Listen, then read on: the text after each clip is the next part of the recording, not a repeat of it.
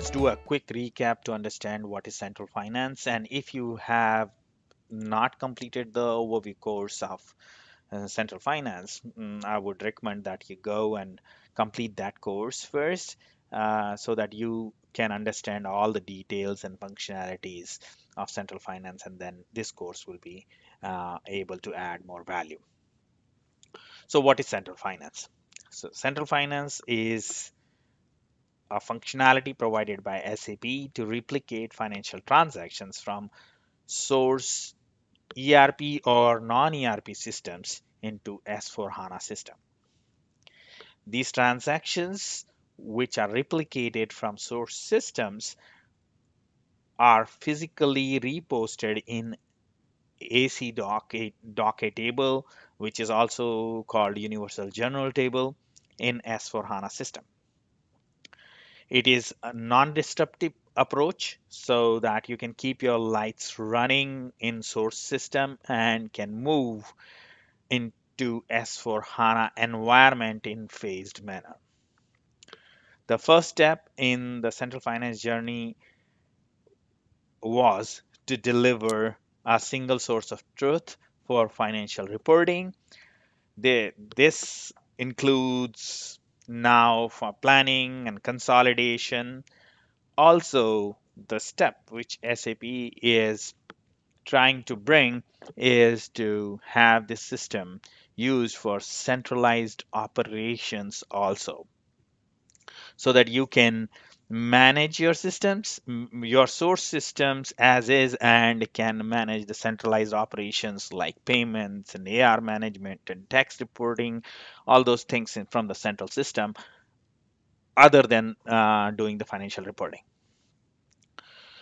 So, uh, what is central finance? So, central finance is uh, um, this is the standard architecture of SAP provided for central finance, now, where you can uh, real time replicate the data from your source system.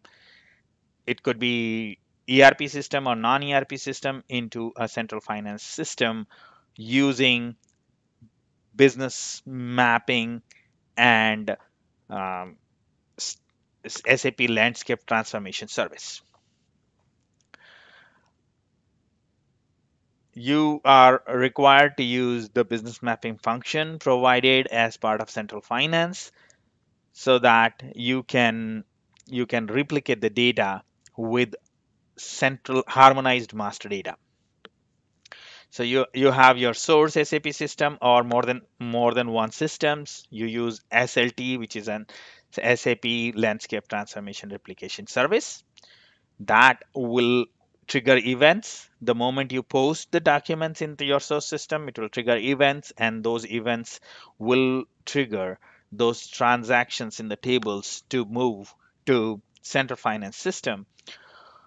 In uh, Central Finance System, you have a business mapping, which is provided as a standard functionality.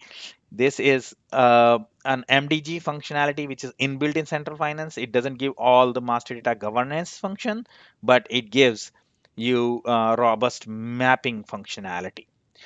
Um, also, uh, Central Finance gives you uh, the mapping functions for uh, short-lived as well as long-lived objects. This uh, provides you um, a tool called AIF, um, which is application interface framework, which can help you in error handling uh, for your data replication, which is initial load app, um, can also be uh, monitored and uh, you can have day-to-day -day monitoring where the data replication is happening on real-time basis. All those postings, which is in the source system um, gets replicated and goes into the SAP Universal Journal, which helps you um, uh, keep your data centralized and uh, and do your financial reporting. These are the three uh, key interfaces which are provided by uh, SAP um, before 1809 and they have added one more functionality as part of 1809 where you can do the project systems also which is which is not really an interface but it's like IDOC processing function which is on top and we will discuss about that. So uh, you can replicate FI and CO documents. So all the FI and CO documents gets combined and gets posted into the Universal Journal as a single line item. You can replicate um, uh, CO postings or uh, secondary postings of CO uh, into uh, the Universal Journal also as well as uh, the internal um, internal orders and like okay short living objects like internal orders and cost objects you can you can replicate on on real time basis from source system into the target systems. So these are the standard interfaces which are provided by sap